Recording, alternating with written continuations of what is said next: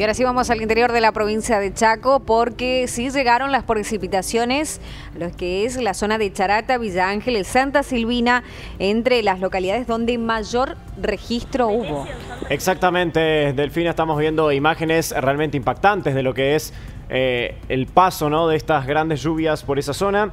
Chorotis, eh, una lluvia caída eh, hasta las 12 y media, hace un ratito nada más, 180 milímetros. En la zona rural habría familias con agua en viviendas, en Santa Silvina 160 milímetros, cuatro familias de dicha localidad con agua en sus casas, permanecen en las mismas y son asistidas por el municipio local. Exactamente, eso se registró aproximadamente las 9 horas también del día de hoy. Charata superaba los 70 milímetros, Tacopozo 130 milímetros, Gancedo 112 milímetros, Coronel Dugrati 85 milímetros y Pinedo 85 milímetros también.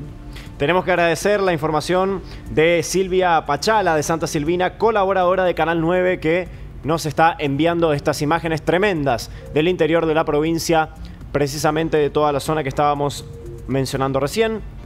Santa Silvina, Chorotis y también otras localidades aledañas muy afectadas por las lluvias en estos momentos en este mediodía del día martes. Hay que eh, continuar hablando y remarcando a la población que continúa la alerta para esta zona, también en la provincia de Chaco, así que a tener en cuenta las precauciones en estos casos.